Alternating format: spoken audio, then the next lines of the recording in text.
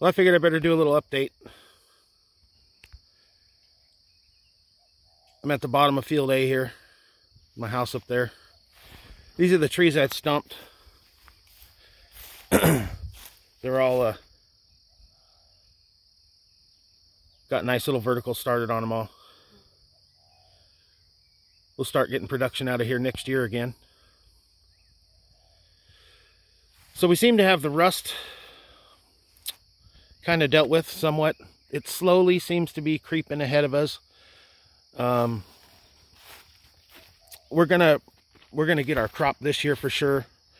Still organic, um, certified. Um, if it gets real bad, we might have to drop our organic certification next year and combat this with chemicals. At least we'll be producing 100% Kona coffee still. It just won't be organic anymore. But we're going to do everything we can to stay organic. Um, I've got a regimen in place. I'm rotating six different products, applying products every two weeks. And uh, yeah, it's a big ordeal, but we're fighting it. We're doing the best we can.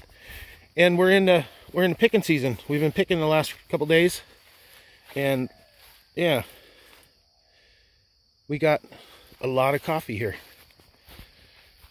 It's going to be a long season. We'll probably be picking into February and March. We still have flowering going on, so those will take seven months at least to, to get ripe. But, I mean, look at the coffee on that tree.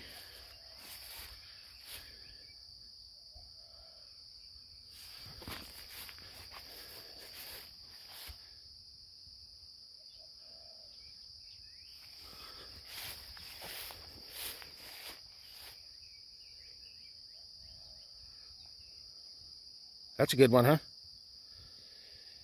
Anyways, guys, I just wanted to do a little update, show you where we're at here on the farm. We're doing all right. We're picking.